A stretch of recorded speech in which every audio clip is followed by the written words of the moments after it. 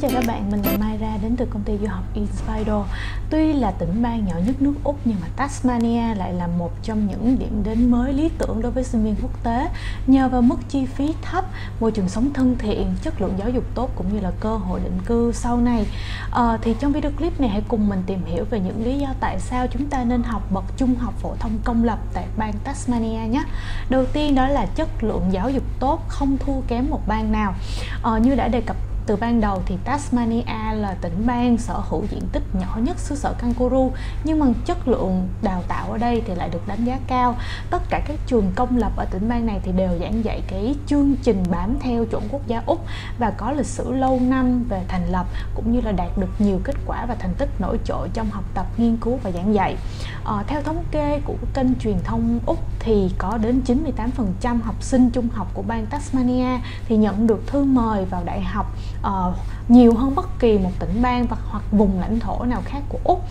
à, thứ hai đó là chương trình học chuyên sâu hệ thống giáo dục úc nói chung và tỉnh bang tasmania nói riêng thì đều phân chia bậc trung học như sau. Tức là bậc trung học cơ sở sẽ từ lớp 7 cho đến lớp 10 bậc trung học phổ thông sẽ là từ lớp 11 cho đến lớp 12 à, ờ, và chương trình học phổ thông công lập ở bang tasmania thì hứa hẹn sẽ trang bị cho các bạn nền tảng kiến thức vững chắc và tập trung vào những môn học mà các bạn sẽ được học sau này ờ, ở trên đại học bên cạnh đó đây cũng là cơ hội để các bạn có thể tiếp cận được cái hệ thống cơ sở vật chất hiện đại. À, thứ ba đó là chương trình ở cùng người dân địa phương à, hay còn gọi là homestay thì được tổ chức bởi chính phủ bang Tasmania. Cho nên là chương trình này cung cấp cho bạn uh, chỗ ở an toàn và thân thiện đối với sinh viên quốc tế từ lớp 7 cho đến lớp 12 để giúp các bạn có thể trải nghiệm được cái uh, cuộc sống thuần Úc và cộng đồng người Úc một cách đích thực. Thì giáo dục của chính phủ bang Tasmania thì luôn duy trì trực tiếp uh, liên lạc với bên chủ nhà để đảm bảo rằng chủ nhà luôn cung cấp đầy đủ uh, cũng như đáp ứng cái tiêu chuẩn cao về chỗ ở cũng như phúc lợi đối với sinh viên quốc tế. Thứ tư đó là các hoạt động ngoại khóa.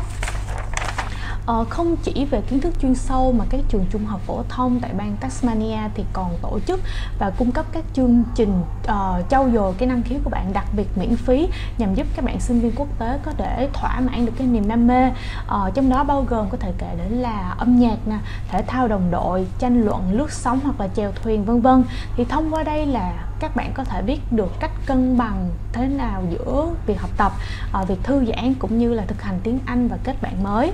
Cuối cùng đó là hỗ trợ tư vấn cá nhân. Thì mỗi trường trung học phổ thông công lập tại bang Tasmania thì đều có những cái chuyên viên uh, tư vấn cho các bạn du học sinh quốc tế. Uh, nhờ đó thì các bạn sẽ được hỗ trợ tận tình trong rất nhiều vấn đề từ việc học tập chỗ ở cho đến tâm lý hoặc là định hướng nghề nghiệp sau này. Và cái TEG,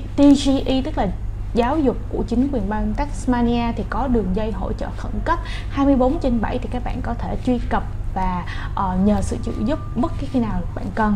Uh, một số trường trung học phổ thông công lập tại bang Tasmania đón nhận sinh viên quốc tế mà bạn có thể tham khảo. Đó là trường Harvard College trường Elizabeth College và trường Rosny College vân vân. Thì uh, trên đây là một số thông tin liên quan đến trung học phổ thông tại bang Tasmania. Hy vọng những thông tin này sẽ giúp ích cho các bạn. Nếu có bất kỳ thắc mắc gì các bạn có thể liên hệ công ty tư vấn du học Inspiro tại tòa nhà Nam Việt số 9 Phan Kế Bính phường Đa Cao quận 1 hoặc thông qua email info